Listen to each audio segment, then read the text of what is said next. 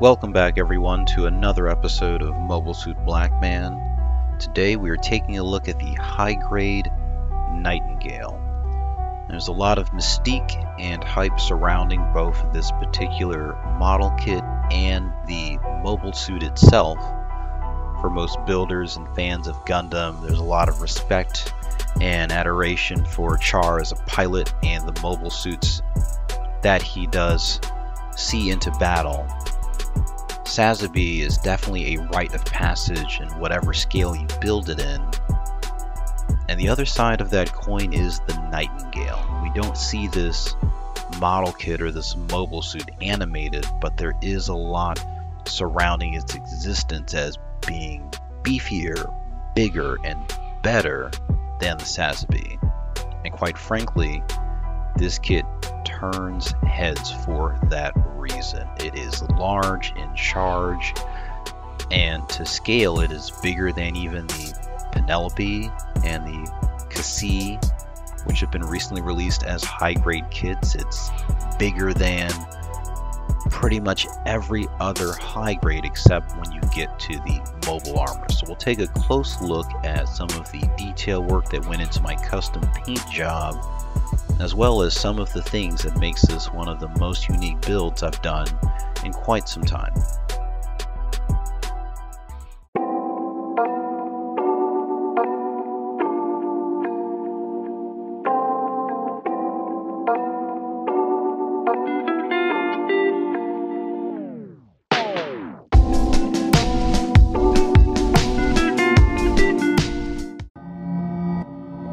Prior to the release of the high-grade Nightingale, most of the time when you thought of a Nightingale model kit, you were thinking of the RE100 Nightingale, that is the 1 100th scaled Nightingale.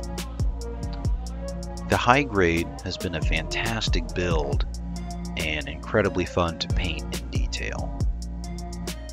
Of course, for a little bit of background, the Nightingale is the reimagined version of Char's Sazabi from Char's Counterattack. The Nightingale was developed for the novelized version that has a few differences from the animated film.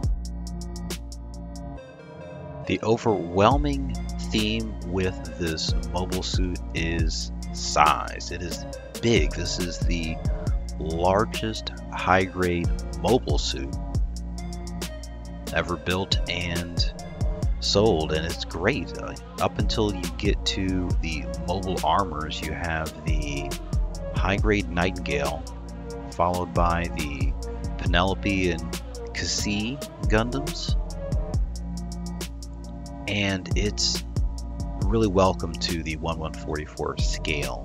We've gotten some big kits and this gives me hope that they will continue to take chances and develop models based on mobile suits that we might not have had the opportunity to interact with, build, detail just yet. The box that the high grade Nightingale comes in is epic. It is the same type of box you would see for the high grade Meteor or any of the mega sized kits. There are a lot of runners, however, the kit comes together very cleanly, smoothly, and there's no problems with the build at all out of box.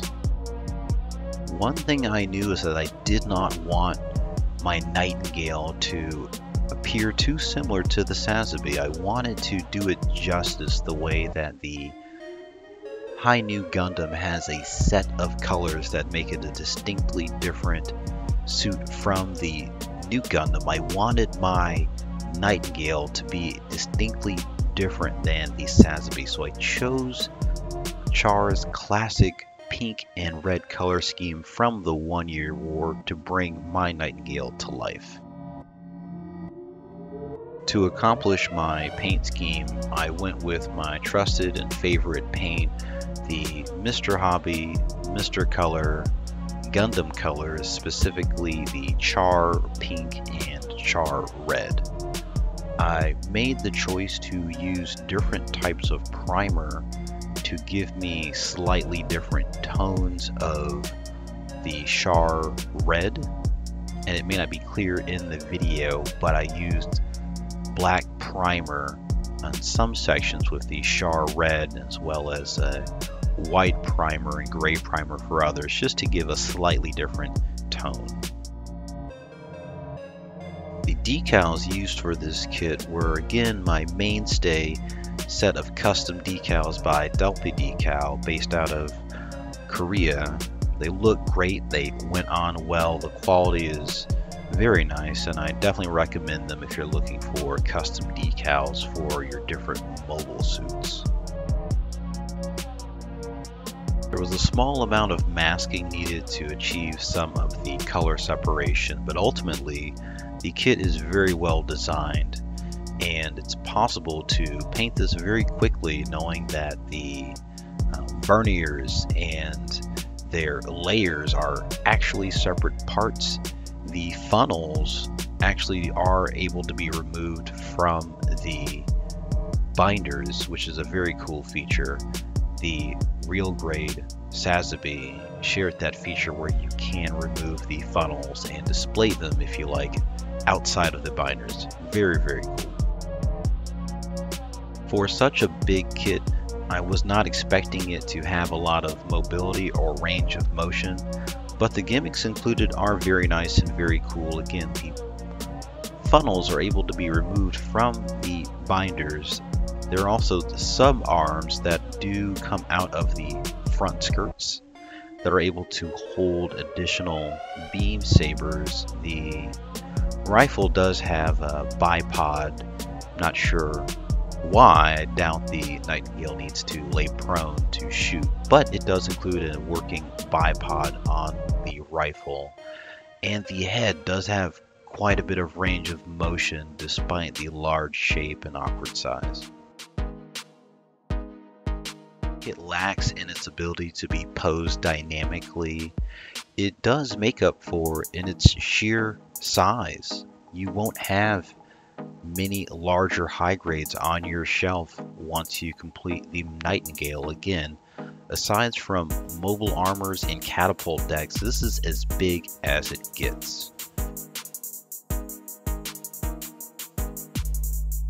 If you don't feel keen on painting this kit, it definitely would benefit from having a layer of top coat and some panel lining and possibly decals just to give this a little bit more character than the out-of-box presence. The red is very beautiful, but again, a bit of top coat will just bring it to the next level rather than having it look like a large, barren plastic toy on your shelf. Very satisfied that I went through and painted this kit specifically painted it with a set of colors that I thought would complement the real grade Hi-Nu Gundam that has also just recently been released. This is part of a narrative that is the epic duel and struggle between Amuro Ray and Char Aznable. I wanted to do the kit justice and bringing that narrative to life with the model kits step in this project will be to complete the real grade Hi-Nu Gundam and the Hyper Mega Bazooka launcher and pair them together just to create again a beautiful vignette of what that battle may have looked like that we did not see animated between Amuro Ray and Char Aznable from Beltorchika's Children. I will admit I'm a bit biased. I love Char and Char's mobile suits, but I will say that if you must have one high grade, consider the Nightingale. For the money, you are getting a large and impressive model and mobile suit. And if you love customizing and painting, you have a great canvas to work with with the Nightingale all in all, I cannot recommend this high grade enough. Definitely try to get your hands on it if you can and if it's within your budget. And this leaves me wondering, where does Bandai go from here with high grade kits? Stay tuned and we'll find out together.